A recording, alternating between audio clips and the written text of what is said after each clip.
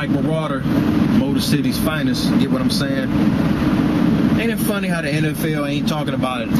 They talking about Ben Roethlisberger, little rape case, but they ain't, you know what I'm saying, preaching and screaming about it like they would be with Plaxico Bird situation or Michael Vick or uh, Stallworth or, you know what I mean?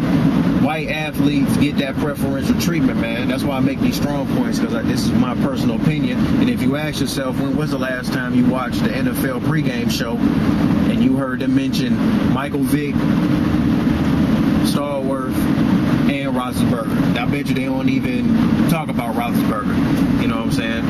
White folks got some way of getting around their their business being in the media opposed to black folks, especially athletes and entertainers. It seems like the camera ain't never known, never on nobody white when they do it wrong, but when somebody black spit the wrong way on the concrete, TMZ is there to catch that and put it all over the internet and try to make people look fools. People tend to think that this entertainment life has to come with money and power and bullshit and paparazzi and all that. But if you think about it, man, if you put yourself in the spotlight, you can't be mad for people looking at you. So you got to be willing to accept your role in it, into what it is you really do. You know what I'm saying? I'm Mic Marauder. I'm on YouTube. If somebody come up to me and be like, "Hey man, ain't you Mic Marauder? Can I get an autograph?"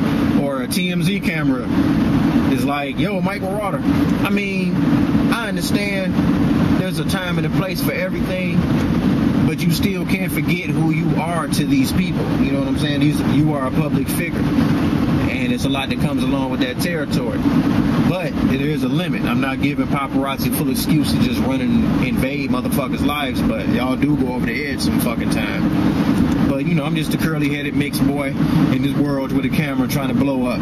You know what I'm saying? I want to give a shout out to exclusively Carrington, girl Nichelle Carrington up in Atlanta. You know what I'm saying? We plan on doing big things together.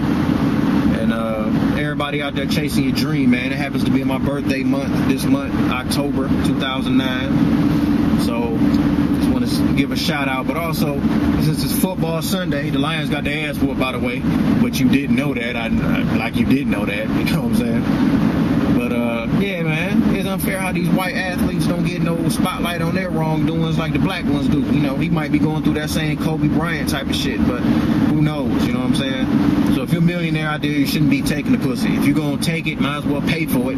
They say it ain't tricking if you got it, so fuck it.